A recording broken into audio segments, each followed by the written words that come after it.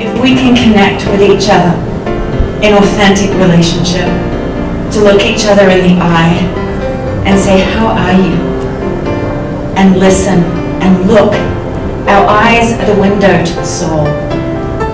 If you look hard enough, you will see if someone is in pain. If you look hard enough, you will see that someone is in joy.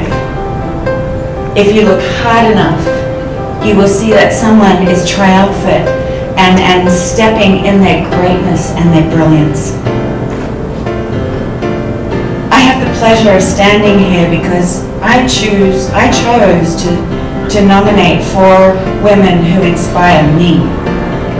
Depression and mental illness, schizophrenia, bipolar, it is not a weakness of character. It is, it is a disease. Like cancer, like diabetes, like anything else, it is a disease.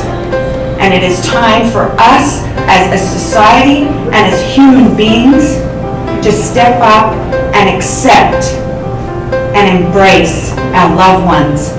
Six million Canadians, six million that deal with this.